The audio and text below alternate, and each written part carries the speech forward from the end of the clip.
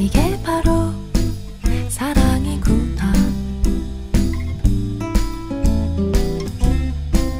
이게 바로 사랑이구나.